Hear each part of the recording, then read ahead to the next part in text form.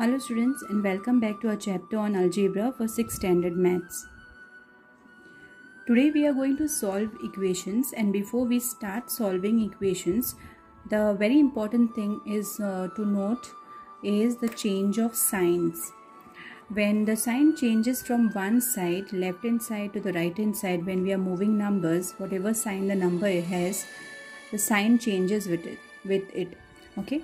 So uh, if you are going to move 3 which has a positive sign so positive changes to negative when we are moving the numbers. Negative if it was minus 3 uh, so it will change to minus uh, positive 3 on the other side. So remember plus changes to minus sign and minus sign changes to plus sign.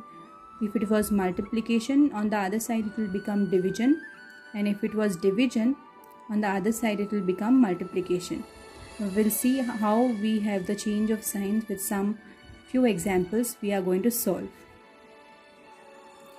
So we have here x plus 3 which is equal to 10 so what we are going to do is uh, the numbers we are going to bring them together.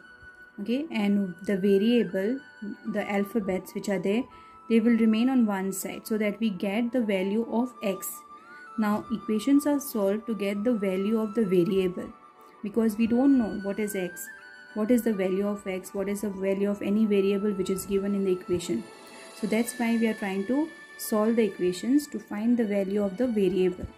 So here the plus 3 the sign also moves along with the number. So the number numbers we will get it on one side. So we will move from the left hand side to the right hand side. Okay so plus 3 when it moves on the other side it will become subtraction. Okay? So here we have written down. So positive will change to negative. So what we are going to do is the second step is x which remains alone plus 3 will become minus 3 so what is next to write? Equal to sign. 10 is coming down. Okay? As it is. Now plus 3 will change to minus 3. Only the sign is changing, the number remains the same. Now, can you solve what is 10 minus 3? 10 minus 3 is 7. So, x is equal to 7. So, x, the value of x is 7. Let us check and see whether 7 was correct. If this x was 7, now we have solved so we are getting 7. So let us check. 7 plus 3, was it giving you 10? 7, 8, 9, 10. Yes. So that means the equation was correct. And our variable answer is also correct. Let us go to the second example.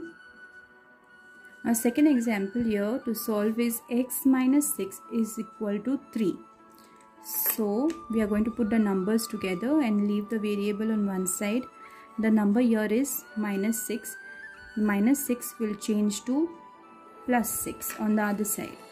Uh, no need to put the arrows. Once you get the hang of it you understand how it is moving and changing the signs. You can write directly okay? So x is remaining on this side. We are removing the minus 6 and equal to sign 3 minus 6 changes to plus 6 so plus 6 here. Now x is equal to 6 7 8 9 so x is equal to 9 let us check whether answer x is uh, equal to 9 is correct. Okay? If we had put uh, instead of x here 9 9 minus 6 is it giving you 3 yes it is giving. So let's go for the third example the third example to solve is the equation is 3y is equal to 33 or 3 times y is equal to 33 3 times means there is a multiplication sign in between 3 and y. Okay? Now remember we had uh, uh, in the table above we had seen that multiplication changes to the opposite sign. The opposite sign of multiplication is division. So we are going to remove the number 3 from here. Okay?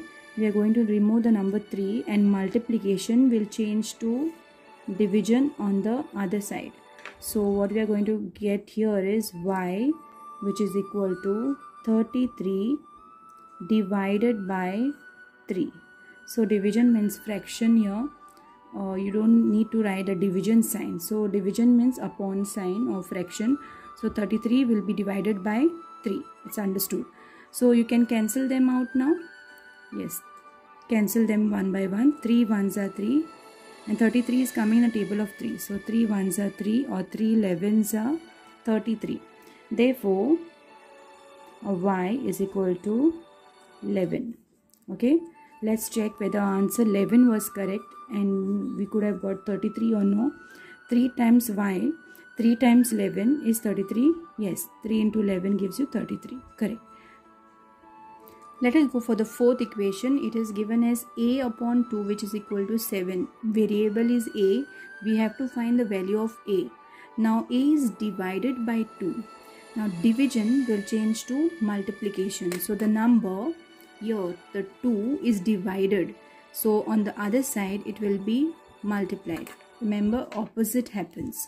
So what is remaining here is the variable a which is equal to write as it is then you put the number which you are changing on the other side so 7 multiplied by 2 okay so therefore a is equal to 7 into 2 is 14 Let's check whether answer 14 was correct or no.